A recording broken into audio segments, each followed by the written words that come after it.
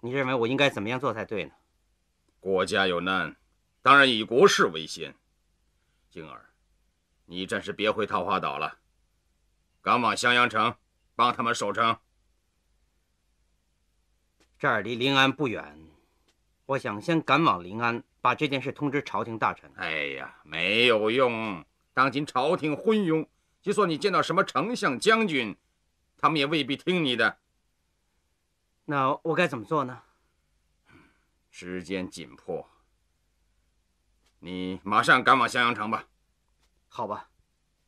襄阳是大宋的军事要点，如果被蒙古占领，形势就坏了。嗯，说的对，静儿，你现在马上赶到襄阳城。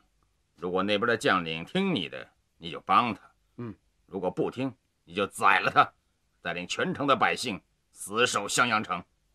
好，我现在就去。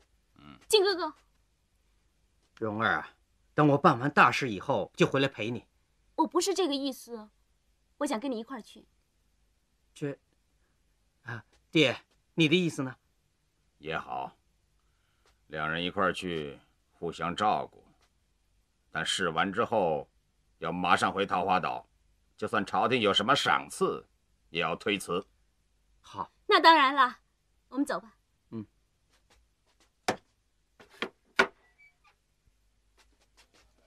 蓉儿，咱们也很累了，不如先在客栈住一晚，明天再赶路。好啊。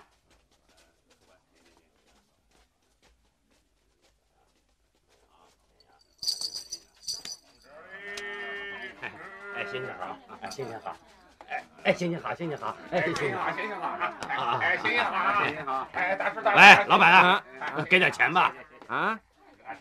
啊啊！喂喂啊！就给一个臭铜板啊？怎么你还嫌少啊？你还要多少啊？臭要饭的！喂，给钱你当我是什么人呢？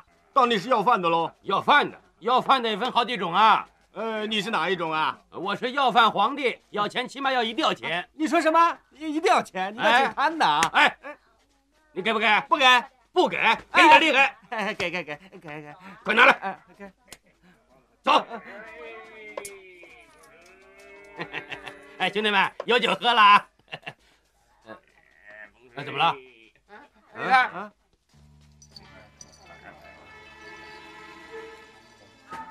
哎，小姐，这怎么样？穆念慈，他在这儿干什么？彭长老啊，你以前不是说过这女人很合您口味吗？当然合了。她以前是杨康的老婆嘛，嗯，杨康都已经死了。兄弟们，这么漂亮的小妞，要不要享受享受啊？要要要要，要 呢就跟我来。好吧，谢谢你啊。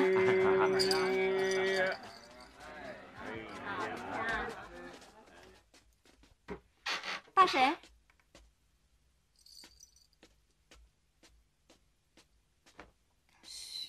小宝贝刚睡着啊，哎，你看看我买的风车好看吗？哎，你这个做妈的，从早到晚老是买东西给儿子玩。啊，对了，我还给你买了一匹布。哎，怎么又给我买东西啦？收下吧。幸亏有你帮忙，不然的话，我真不知道该怎么办。哎，你儿子长得这么可爱，我已经把他当成自己的孙子了。等他爹回来以后啊，我想他看见了一定很开心。你好像有什么心事，穆姑娘？啊，没什么。对了，这匹布还没织好呢，我把它织完了。哦，穆姑娘，还认识我吗？你是？哎，有一次元康不是跟你来过我们丐帮总舵的吗？我就是那个彭长老。哦，我想起来了，你是。彭长老吧？哎，是啊。哎呀，哎呀，像这样的地方怎么能够住人呢？啊？是啊，以前金国太子在的时候，吃的是珍馐百味，穿的是绫罗绸缎，现在可差得远喽。可不是木姑娘，如果我是你呀、我就会再找一户好的人家啊，舒舒服服的吃上几年丰盛的茶饭，那么就 你们快出去！哎呀，他赶咱们走啊！哎呀，这么没有人情味儿，怎么说咱们也是老相识啊！你以前是跟杨康一块儿混的，也好不到哪儿去。快点走！啊，对呀、啊，对呀、我本来就不是什么好人。不过话又说回来了，就说我再坏，也没有杨康那个坏蛋坏吧？啊，杨康那臭小子你都跟了，我怎么说也比他强吧？你太卑鄙了！你快滚，不然我不客气了。哎呦，生气了！你生气，人更漂亮了。兄弟们，你们说是不是啊？是呀。呃，说老实话呢，其实你跟我也不错呀。我担保你吃得好，住得好，皇妃做的久了，做的要饭婆也不错吧？哎，哎呦，啊，你敢动手？来！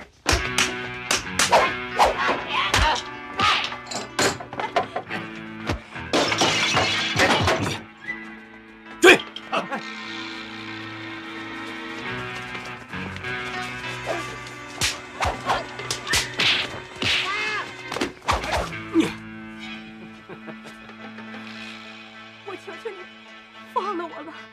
这么漂亮的女人，我怎么能浪费呢？啊！住手！我还以为遇上谁呢，原来是你这淫贼！哼臭丫头，怎么到哪儿都碰上你？除非以后你做好人，要不然的话，你还会再碰到我。哼岂有此理！上！哎！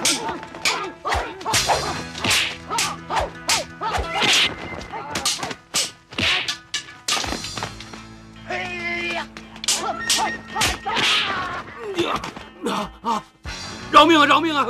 金哥哥，杀了这狗贼！啊啊！不不不要不要啊！不不不要啊！不要饶命啊！郭大哥，算了，他已经受了重伤，就放了他吧。放放了我吧！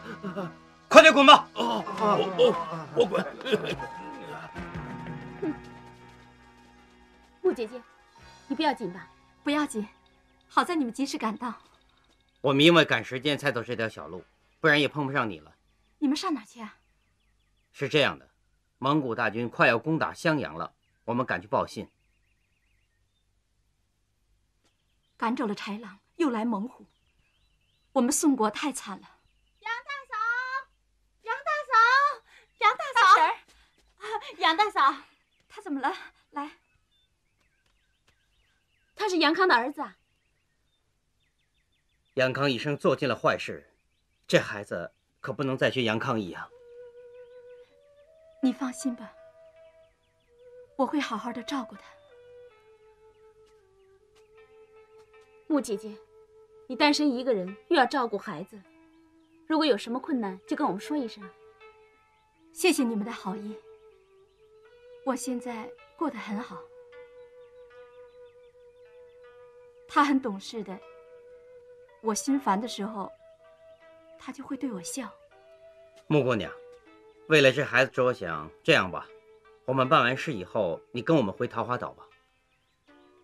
如果有这个需要，我一定会去找你们。哎，对了，你们该赶路了。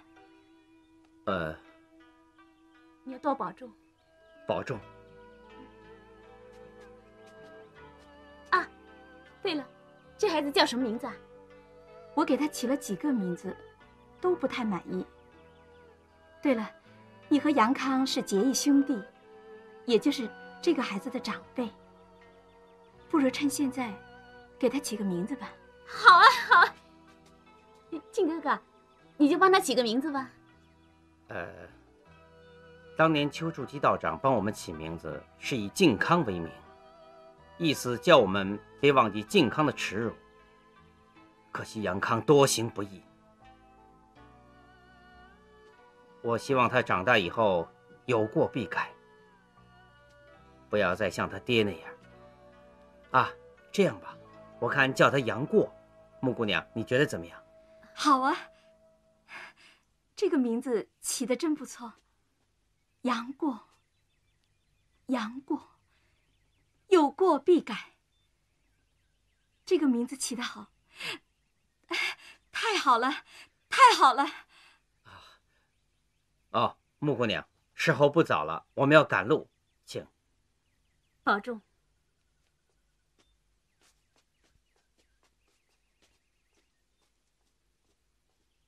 靖哥哥，有一件事我很不放心。什么事？见到杨康的儿子以后，我总觉得他长大以后一定会对我不好。哈，真傻，怎么会这么想呢？你别忘了，说起来，杨康是因我而死的。不会的，木姑娘知道是杨康要杀你，误中了软猬甲之毒而死的，根本与你无关呢。要怪就怪杨康自己居心不良。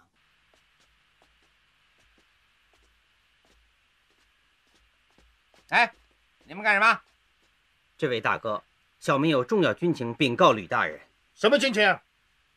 事关机密，我们要见到吕大人才能说。我们吕大人有重要的事情要办，你们走吧。你们这帮狗贼！哎，蓉儿，这位大哥，麻烦你帮我们通报一下，说这件事关系到襄阳城的安危，所以小民要亲自禀告吕大人。有什么说的？走走走走走。哎哎，啊，你想见吕大人求个一官半职是不是啊？哎，早点说嘛。哎，老规矩啊，马前卒交一百两，守城将交五百两，明白了啊？呃，两位的意思是，你真糊涂还是假糊涂啊？呃我们晚上再来。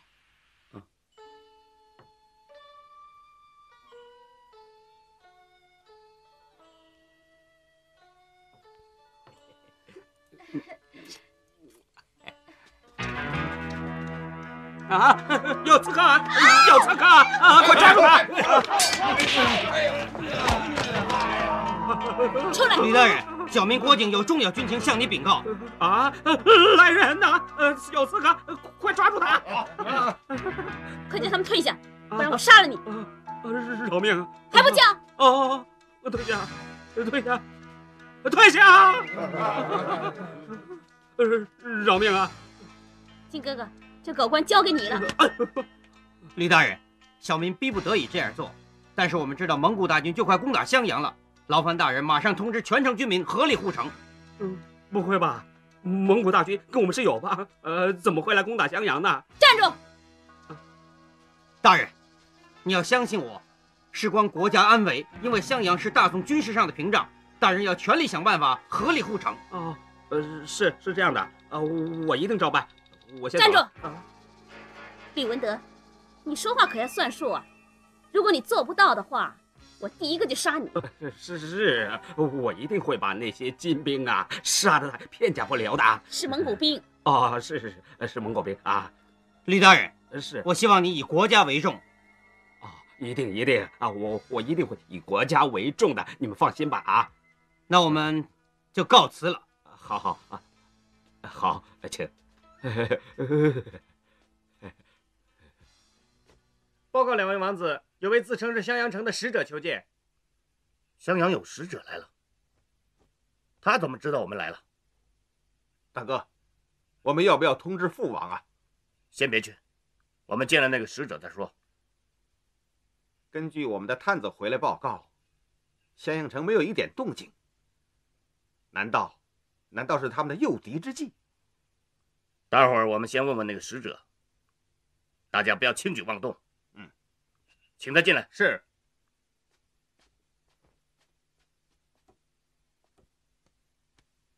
两位王子，襄阳使者到。参见两位王子。免礼。宋国派你来有什么事吗？小人是奉襄阳城安抚使吕文德大人的命令来拜访两位王子的。吕文德他怎么知道我们来了？啊，吕大人早就知道了，因为蒙古大军和宋国乃是友邦，特派小人奉上珠宝一箱，作为慰劳蒙古军队饮食之用，请笑纳。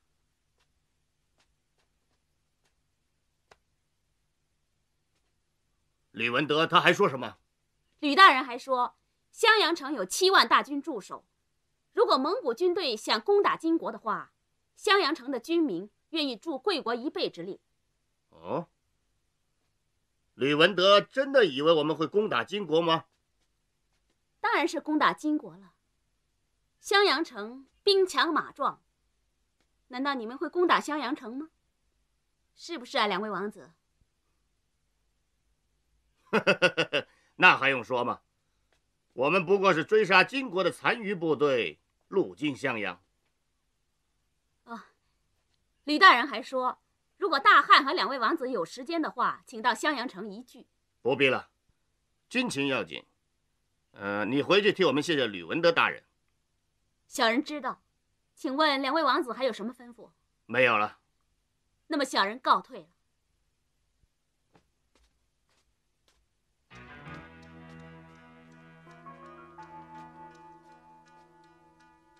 那个人是谁？他是襄阳城的使者。襄阳使者。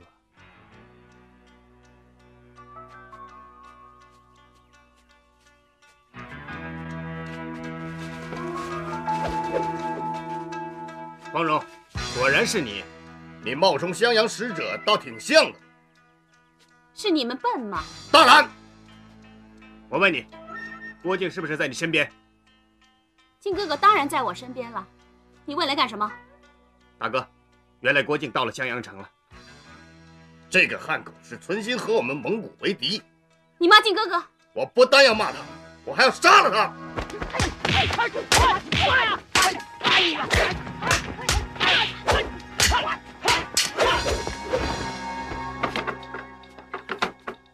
蓉儿，出了什么事？我遇上拖雷了，他离城只有三十多里。他们会不会退兵呢？我想不会。成吉思汗野心那么大，他知道襄阳有所防备，还是会进军的。蓉儿，再想想办法。嗯，看来这场仗打定了。好，既然要打，就算牺牲自己也要保住襄阳。靖哥哥，论武功，天下间没有几个人可以打赢我们，但是我们面对的是千军万马，就算不要命了，也保不住襄阳啊。蓉儿，快换衣服，跟我出去。你干什么？等等，各位，你们听我说，什么事啊？你要干什么？蒙古兵就快攻打襄阳了。你胡说！敢在这儿扰乱民心！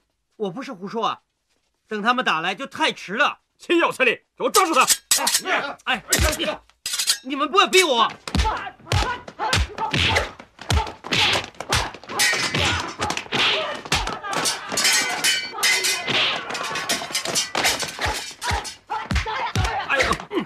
英雄，饶命啊，英雄！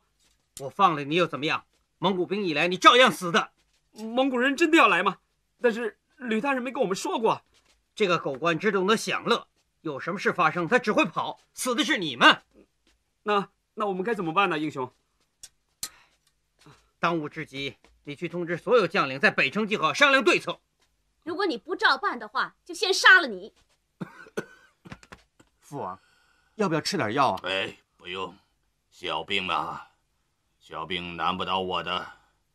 对了，攻打襄阳城进行的怎么样了？呃，我看郭靖的用兵如神，又熟悉我们蒙古的兵法，所以……哎，拖雷，区区一个国境算得了什么？如果父王允许的话，我马上带领大军提他的人头回来。主持，你们不要太轻敌。郭靖的确很会用兵。这边，你挑选一些武士混入襄阳城里，打听一下虚实。如果碰上郭靖为难你们，就格杀勿论。各位将士，襄阳城安抚使吕文德昏庸无能，为了守城，以后这儿由我来负责。我在蒙古长大，我最了解蒙古人的心理。希望各位将士忠诚合作，以救国为先。如果谁不听话，我就先杀他。两位英雄，尽管吩咐吧。各位将士，正所谓兵为使诈，士急用奇。蒙古人兵强马壮，我们不能力敌，只可以智取。现在兵分三路，一路埋伏在东边，一路埋伏在西边，另外一路就留在这儿。各位听到大炮声以后，就摇旗呐喊助威，因为蒙古人不知道我们真正的实力。各位明白了吧？我们明白了。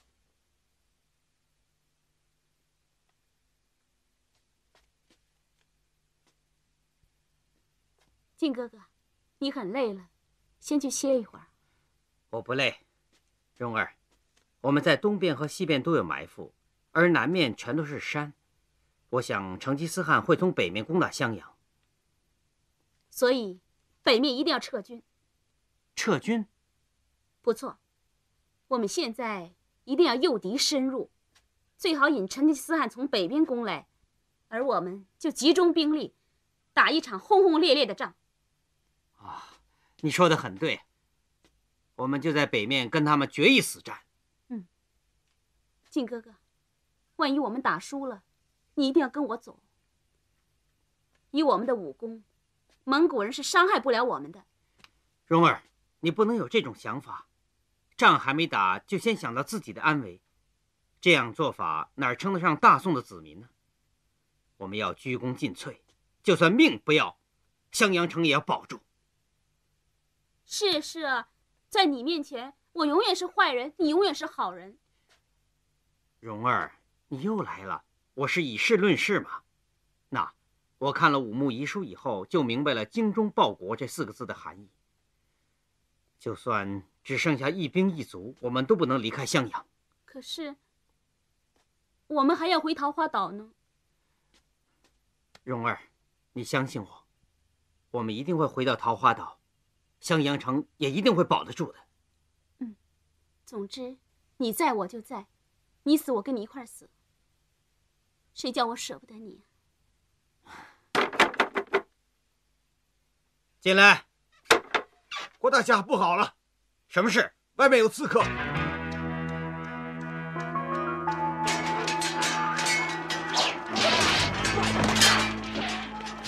哲别师傅，住手！郭靖，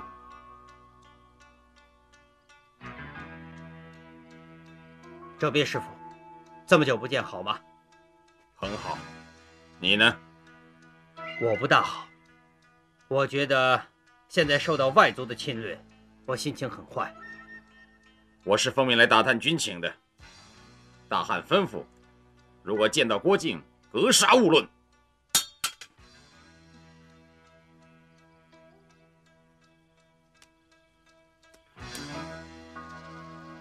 郭靖，你为什么还站在那儿？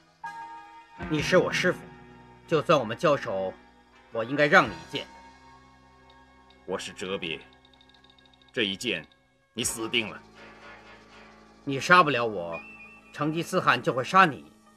你射吧。郭靖，你为什么这么傻？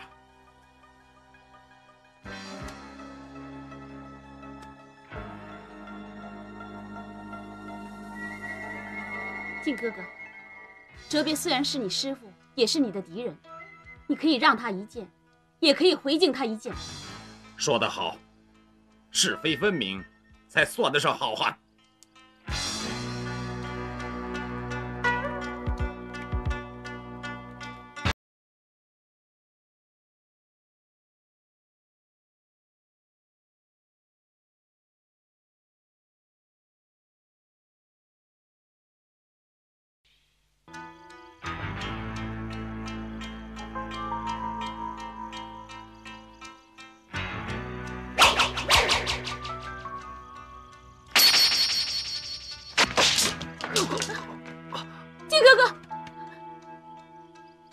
郭靖，你也是哲别。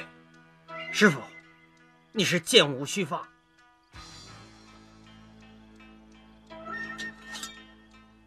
郭靖，我和你的师徒关系就到今天为止，你动手吧。师傅，你回去告诉成吉思汗，有我郭靖就有襄阳，叫他好好保护身体，我要亲手杀死他。等一等，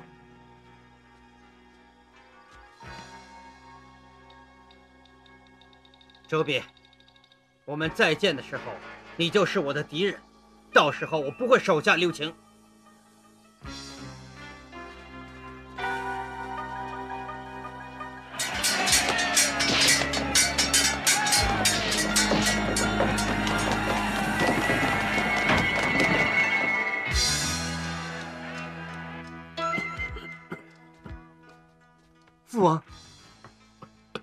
你怎么样？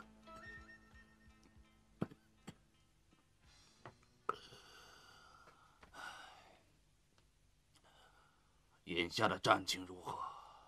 呃，呃，呃，说。郭靖在东西都有伏兵，我们不敢轻举妄动，而正面攻城又遭到顽强抵抗。郭靖，你真的要和我作对？主持，我们有没有攻过北面？北面那边全部都是果园，有没有守军？我想可能是诱敌之计。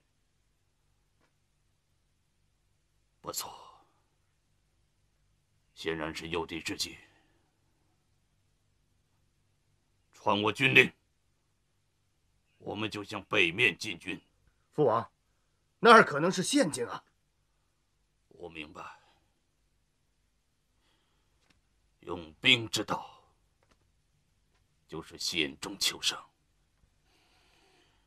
郭靖故意留空北面。就是想跟我在那儿决一死战。好，就让我打一场漂漂亮亮的仗。父王，你怎么样？父王，父王没事。我还要亲手把蒙古军的旗帜插在襄阳城的城头。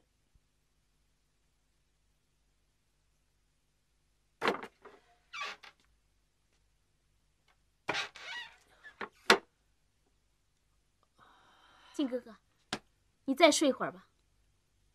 我不睡了，蒙古兵就快打来了。你太累了。我不累，我还可以支持下去。我听他们说，蒙古兵有向北移动的迹象。成吉思汗中计了。你先别那么高兴。我想成吉思汗是故意踩这个圈套。明知是圈套，还要踩进去。他想速战速决，就算多死一些人，多流点血，他也要占领襄阳。蓉儿，那我们的兵力也要向北移了。这几天来，我发现襄阳军的作战能力很差，平时训练不好，打起仗来就像乌合之众。还有，很多部队都有逃兵出现。怎么会这样呢？为什么蒙古兵就能够众志成城，而宋兵就像一盘散沙一样？你生气有什么用啊？什么样的朝廷就出什么军队。大宋迟早都要亡国的。不会的，大宋有很多老百姓，还有很多像我们这样的人。只有那些贪官怕死，老百姓是不怕死的。靖哥哥，怎么我怎么说你都不明白？你看街道上那些老百姓只顾着逃命。有几个像郭啸天那样？有几个像郭靖留在襄阳呢？你告诉我，你告诉我，不会的。我说不会，不会，不会的。我还是劝不了你。为今之计，只有一个办法。蓉儿，我知道你足智多谋，你有什么办法？办法是有的，但是你的心太软，我想我说出来。你也是办不到的。你说吧，为了大宋江山，我什么都肯做。你说吧。我们趁夜行刺拖雷，杀拖雷。嗯，拖雷是铁木真最疼的儿子，一旦他死了，铁木真一定会伤心过度，可能会退兵。嗯，有没有别的办法？拖雷怎么说？跟你也是一场兄弟，我知道你一定办不到。对，我不要这样做。我宁愿在北边和蒙古军决一死战。靖哥哥，不要说了，不要再说了。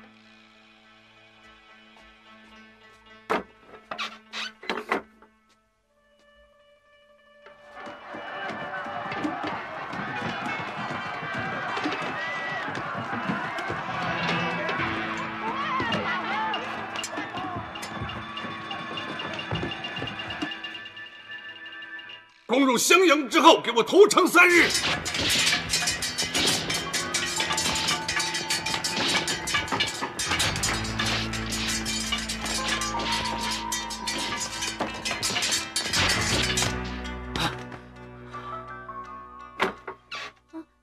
靖哥哥，你怎么了？蓉儿，你说的很对，应该大义灭亲。我们杀一个拖雷就可以救回全城的人，为什么我下不了手？那我们事不宜迟，马上启程。走吧。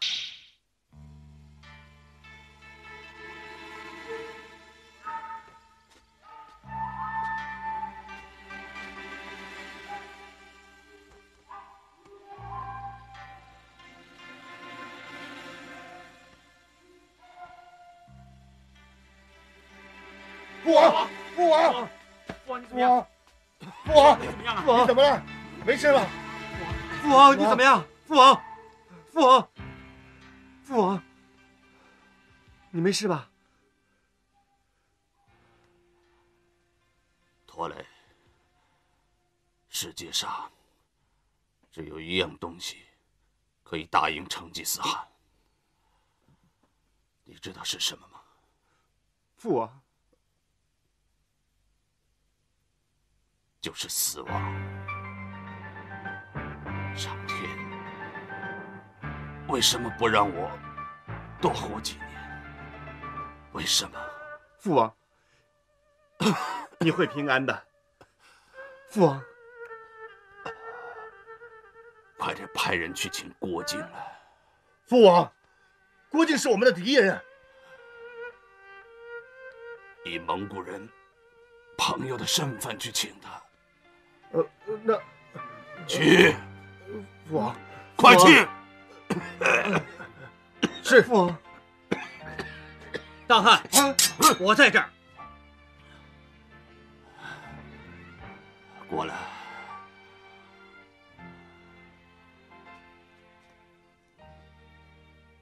师傅，静儿，你过来。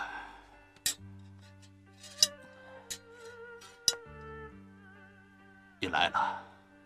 是。我这次来，是想行刺托雷。现在呢？啊，既然大汉还当我是蒙古人的朋友，那我应该跟你叙叙旧。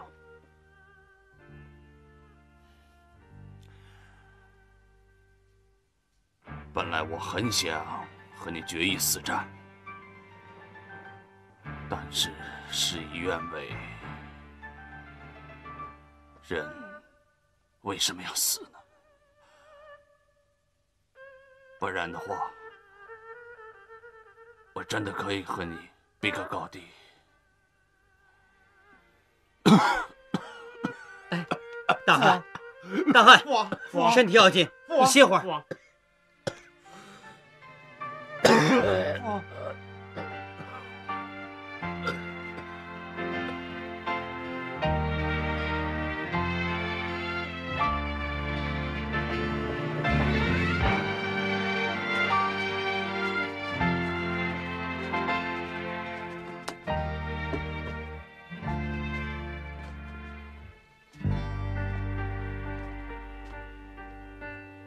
当年我和扎木合安他结义，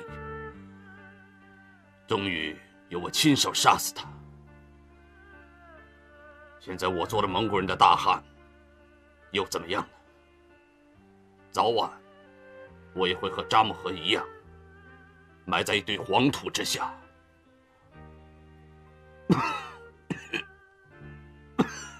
父王，父王，父王，没事吧？你不要紧吧？你怎么样？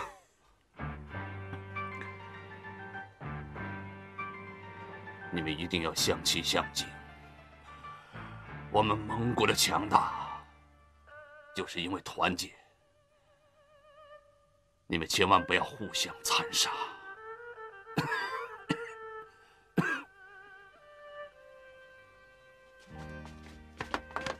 是父王。启禀大汉，金国来使求见。经过了残余部队，不肯归降，还派使者来见我，什么事？夏邦自知冒犯大汉天威，罪该万死，特献上祖传明珠一盒，恳求大汉息怒。这盒明珠是毕邦的镇国之宝，恳求大汉赐纳。收下了。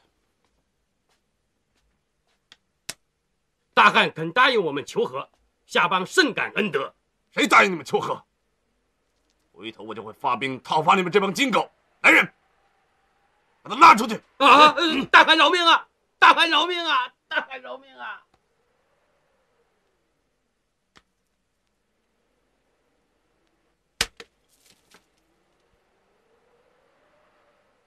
就算有这些珍珠，可以多活一天吗？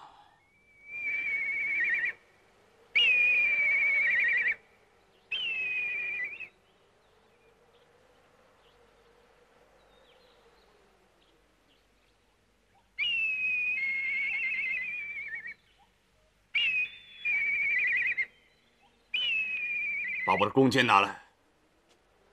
大汗，我求你放了那只雕。